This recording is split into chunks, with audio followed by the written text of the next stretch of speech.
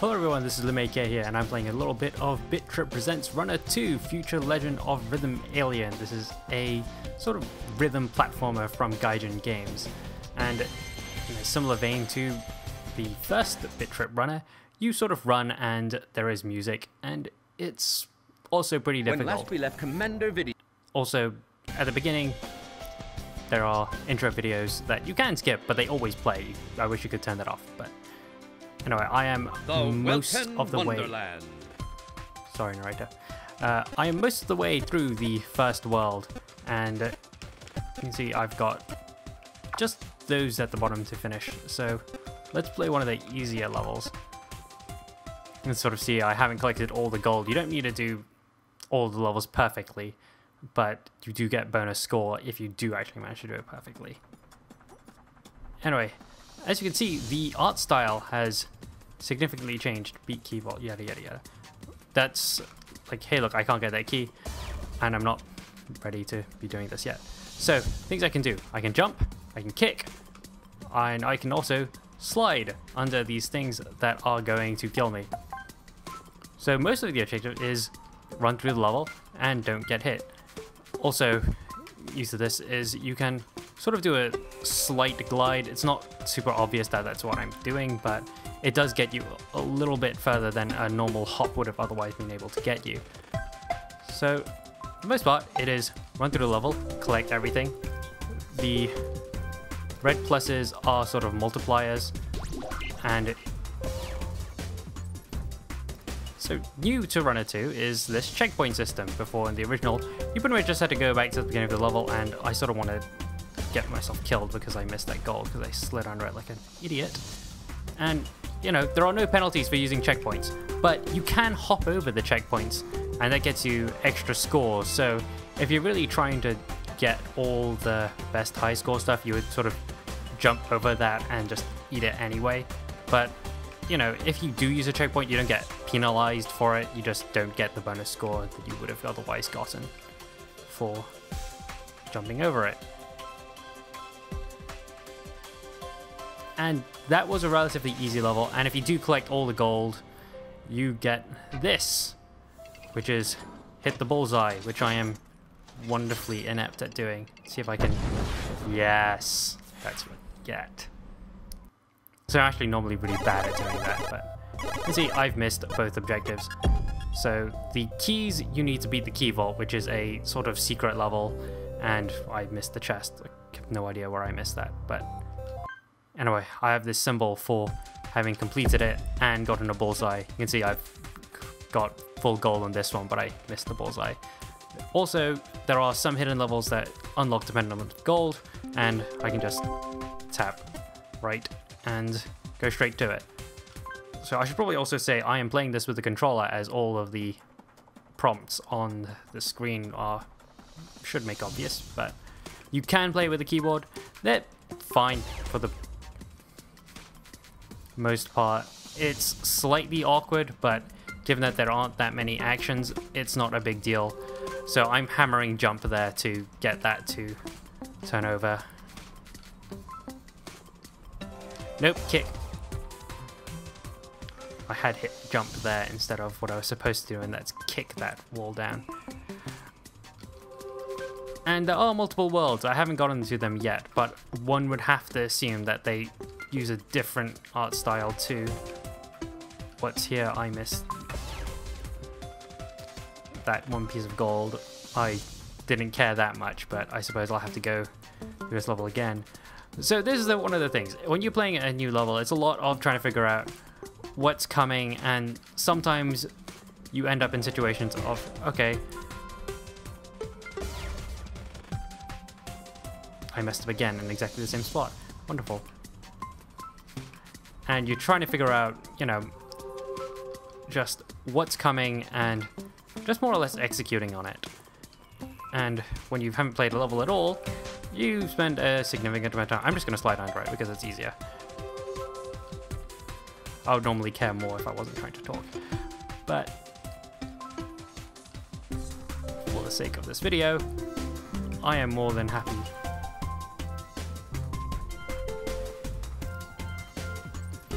oh, I should not have done that. So, like I said, you can skip checkpoints if you are crazy.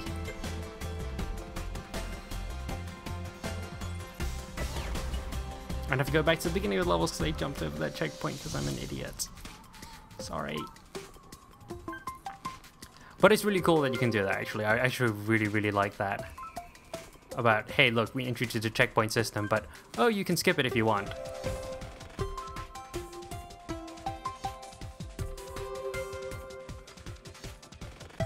So let me just try and concentrate and hopefully not hilariously mess up.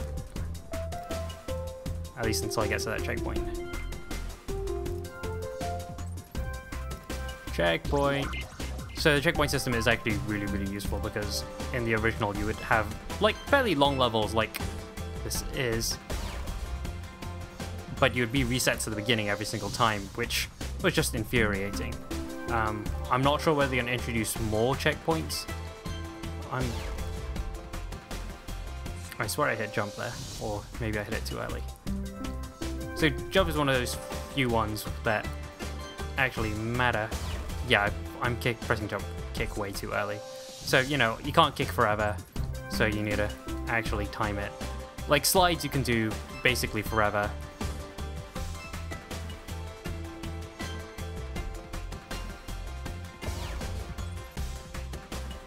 So that jump I can't make just by doing a hop. If I glide, I should be able to make that.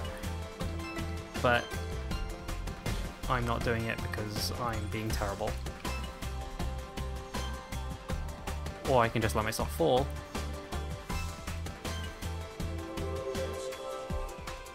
You know, those pluses, they are pretty much the things you want to be getting because they increase the multiplier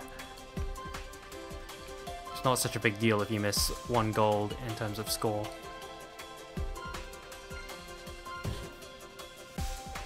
And yeah, I missed some gold, but I completed that level and got a bunch of gold for doing it.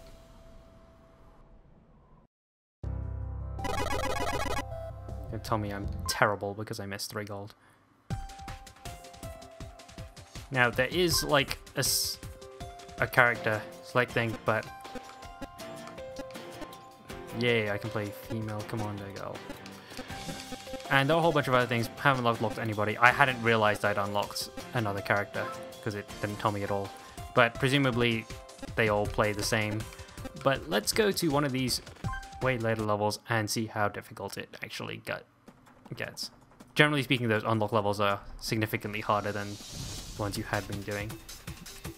And, you know, so far, since this first world, it's been introducing more and more mechanics. And in general, anything that's bound to your movement, you can just sort of hold down and you'll do it indefinitely. And things like jump and kick, those you have to time a bit more.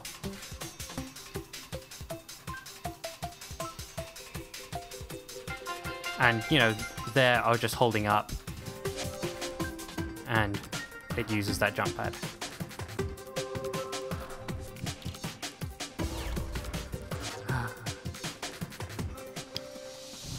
So I did say earlier that this is a fairly big departure from the original in terms of art style. They do have a couple of retro levels that go back to the sort of pixely art style of the first one. I mean, it's definitely seems more retro inspired than even the original was, but you know, it's still cool to see that to contrast it with what this says. Oh, I really should have let myself drop down there. Oh well. So I mean, that's something you would have realized, you know, I had sort of figured that out way too late, but...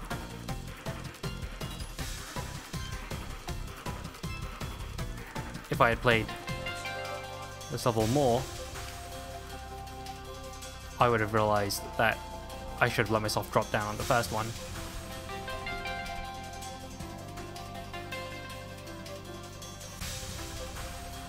And alternate exit. So this has unlocked a different level on the path than would have been the main level.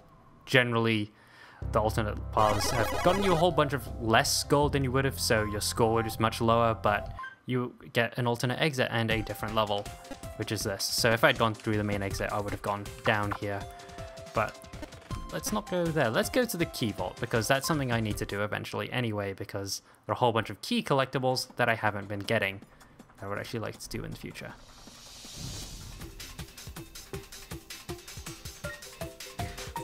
And I, you know, generally quite like this. It's nice interplay between, you know, music and platforming. I mean, it's sort of fairly loose. I'm mostly doing it by sight than, you know, actually by rhythm. But it's sort of nice the way that the chimes when you collect things sort of fit in with the music.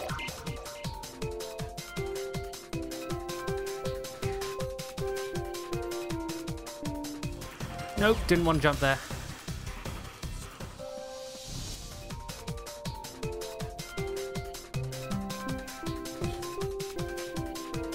But it is a game that requires quite a lot of concentration to sort of play properly. Admittedly, I'm doing way better than I thought I would be doing for this video.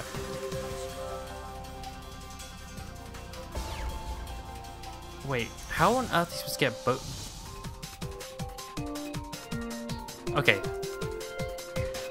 I assume those, since they are mutually exclusive, those both golds don't count to that 48 for, needed for the level.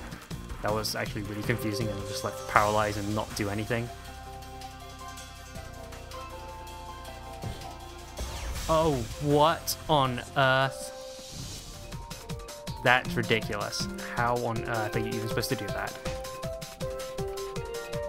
And being not very good at these kind of games, I don't think I'm going to get, you know, much further than the first, maybe the second world.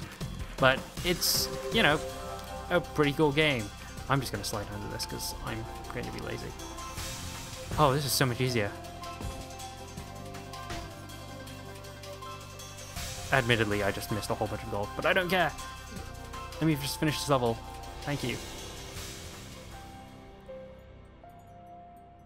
So that top path seems absolutely absurd, but it seemed like that would be worth a whole, whole bunch of points. And, you know, I can toggle the leaderboard. That, you know, I don't actually think I'm that high on the leaderboard. I have no idea how this leaderboard works at all, but there's no way I'm actually that high. So I have probably about time to fail at one more level, so let's try this hidden one that I unlocked while I close this video out. But yeah, I'm I am enjoying this quite a lot.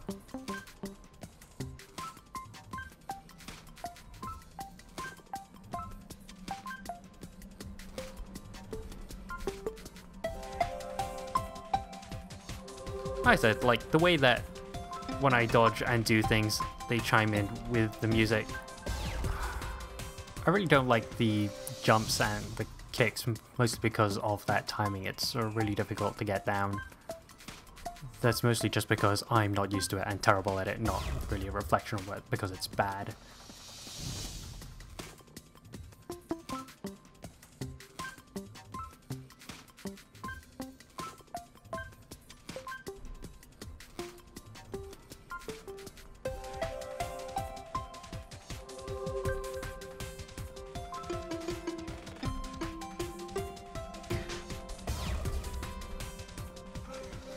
So yeah, that's pretty much what Bit Trip Runner 2 is. It's a, you know, pretty logical extension from where you would go after the first one. And it's a whole lot of fun, like the first one was, except for the fact that the whole checkpointing system makes it a much more playable and significantly less infuriating game. I'm just going to kick both of them. I'm not even going to get that gold. But it's a lot of fun to play. So anyway, Oh, sigh. Of course that's how I end the video.